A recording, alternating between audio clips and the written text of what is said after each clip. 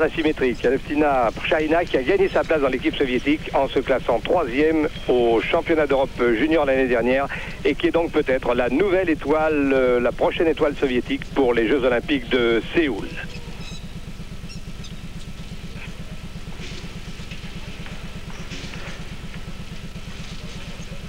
Sorti en double salto avec Brie dans le premier salto pour la toute jeune soviétique à cet engin si difficile où on a constaté le transfert des éléments masculins de barre fixe, d'où le caractère athlétique, acrobatique, qui plaît tant au public avec les lâchers de barre.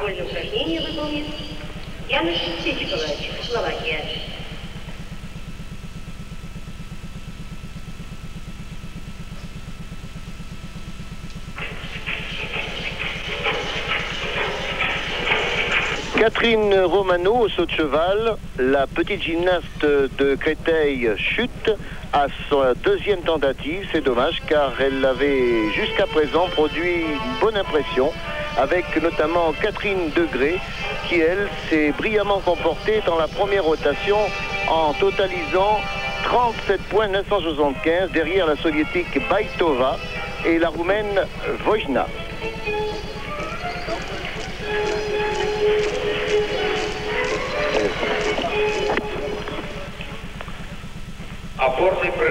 À la poutre, Karine Boucher, l'une de nos meilleures représentantes françaises, avec euh, Catherine Romano et Karine Degré. Karine Degré qui euh, s'est brillamment comportée dans ce concours de championnat d'Europe. Nouvelle génération de gymnastes donc qui apparaît au plus haut niveau de la compétition dans l'optique des Jeux Olympiques de Séoul, mais encore faudra-t-il se qualifier au championnat du monde de Rotterdam. Et mon cher Jean Marquet, on peut dire que l'apparition de oui, de la petite bouchée, c'est vraiment le mot, 1m44, 35 kg, et c'est encore un peu généreux pour une, cette jeune fille de 16 ans. Eh bien, Karine Boucher, euh, championne de France. Et je vais en profiter pour vous rappeler les notes des jeunes filles que vous avez vues jusqu'à présent. Svetlana Baitova, aux barres asymétriques, 9,90. Mademoiselle Boina, la jeune roumaine, 9,95 au sol. La révélation de ces championnats jusqu'à présent, la soviétique Aleftina Jaina aux barres asymétriques, 9,90. Et Catherine Romano, malheureusement avec sa chute, 9,375 au saut. Une belle sortie là pour euh, Karine Boucher, double salto avec un léger déséquilibre en sortie.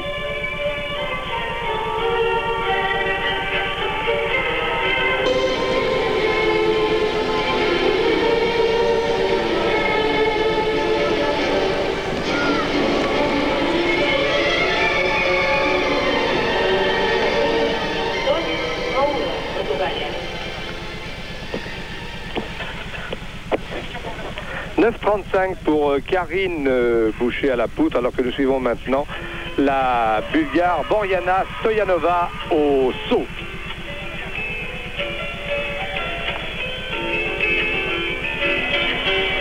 Oui, salto avec vrille en sortie, note qui devrait tourner entre 9,70 9,75.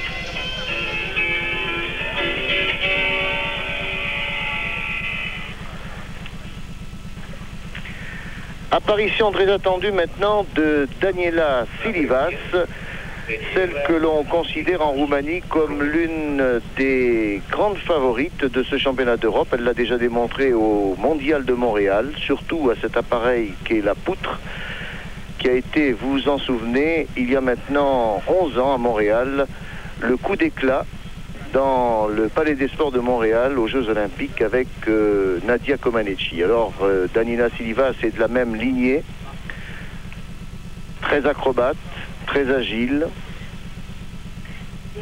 Elle maîtrise totalement son évolution. Et il est sûr que pour la soviétique Chouchounova, elle sera jusqu'au bout l'une de ses plus sérieuses concurrentes. Encore un gabarit impressionnant, Pierre. Hein oui, elle culmine à 1m37 pour 30 kg.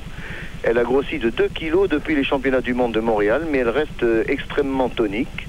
Elle a 16 ans, 17 ans, elle est née en 70 à Deva. Et elle vient de réaliser ici une des prouesses techniques les plus appréciées par les spécialistes. Daniela Silivas, incontestablement la meilleure roumaine. Elle avait d'ailleurs gagné euh, tout récemment en Avignon le tournoi de la Cité des Papes. Alors que enchaîne maintenant la grande favorite, Elena Chouchounova.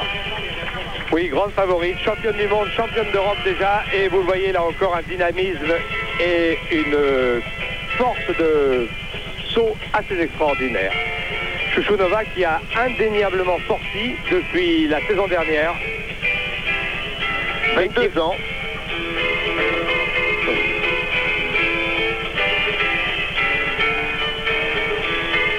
Mais qui dégage une personnalité au sol. euh,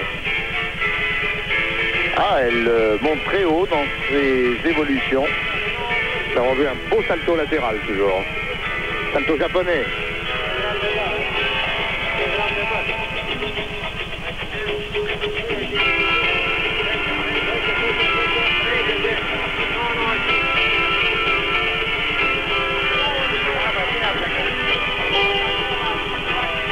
Très comédienne, Elena Chouchounova. 9,95 Pierre pour euh, Daniela Silivas euh, à la poudre. Une excellente note donc.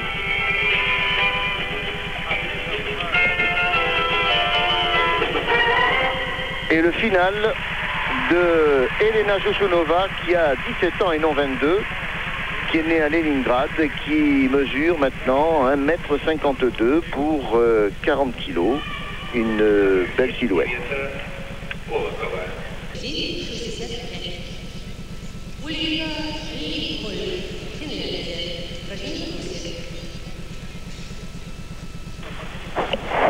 9,90 euh, au sol pour Elena Chouchounova alors que nous retrouvons Daniela Silivas cette fois-ci au sol. Daniela Silivas qui est donc en tête de la compétition après la première rotation.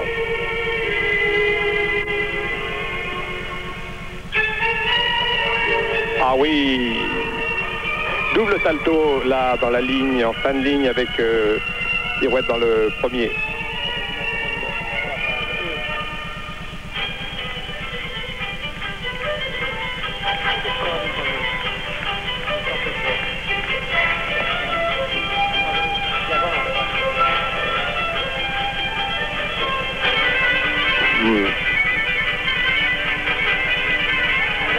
Excellent travail là dans la diagonale avec cette alternance de salto qui montre euh, vraiment la- maintenant l'apport technique de plus en plus grand de ces euh, jeunes filles qui introduisent de plus en plus de difficultés. C'est ce que nous avions déjà noté aux entraînements et ça se confirme ici. Double salto avec une excellente euh, réception pour Daniela Silivas. Qui est notre favorite, mon cher Jean Ah, je ne sais pas, je ne sais pas encore.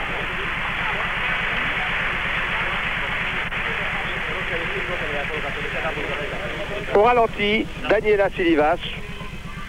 Cela mérite d'être revu. Vous voyez cette formidable détente de cette euh, jeune fille. Le ralenti le, met vraiment, vraiment en évidence.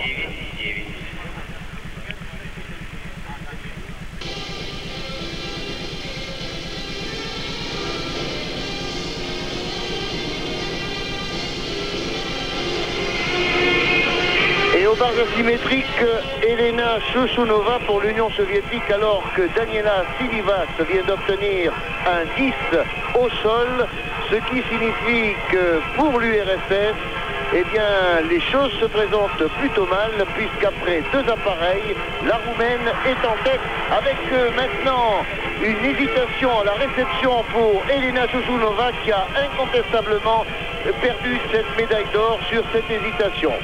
Voilà donc euh, sur ce visage un peu déprimé de la soviétique, vous avez tout compris alors que Daniela Silva s'élance maintenant pour remporter cette médaille d'or qu'elle a conquise déjà avec un 10 au sol et avec un de 30, une bonne option pour la médaille d'or, mais